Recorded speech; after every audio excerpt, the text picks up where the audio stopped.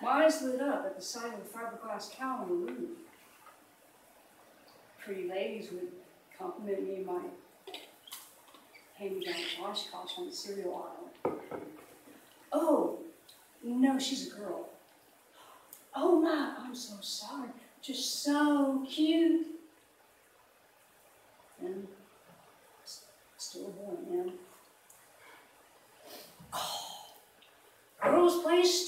games.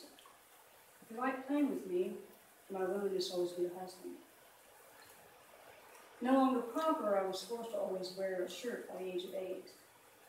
And in time, I learned to don a jacket in June. Whatever you do, please don't remember me. It's hard to forget the record-holding recess king of the hill.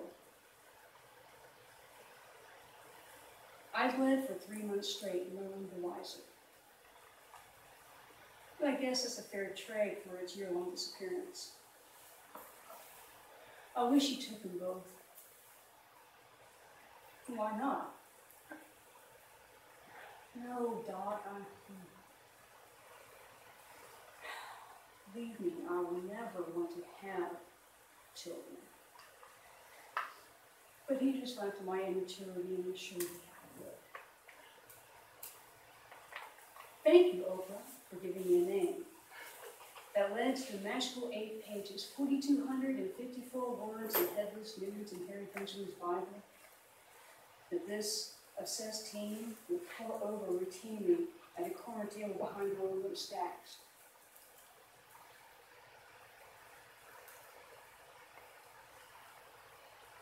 Now the foreskin from a forearm was not the first I'd seen. The pussy watchful disappointment. And I like orgasms too much. And I did my three years as best I could, but could never afford the elective. Discussions with Plato and my androgynous convenience store smock taught me it no longer mattered. Hey, dude! What the hell? Hey! You got a girl's ass, you know that freak? Insults where they did ballots. The way is straight and the gate is narrow, was the mantra blaring from a megaphone atop his car that tailgated my motorcycle, wee, wee, wee, all the way home. You know, most of our students come from a conservative background and wouldn't feel quite comfortable with your, um, you know, personal. So it's best not to discuss that with them. As if by nature I would incessantly talk about sex. Did make things a little awkward with chapter 11, but seemingly relationships. It was the first time all year I'd modeled no example of speech. My LGBT students felt my rudeness.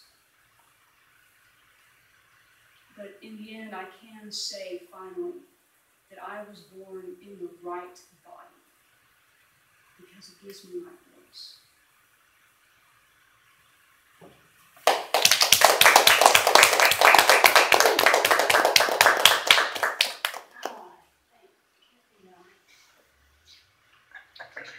And in the tradition of performance, we are not going to ask you to decipher that for us because we will decipher it since it's a performance. Okay, and I will actually, since we are, yeah, you can go ahead and do it. Um, and since I just recorded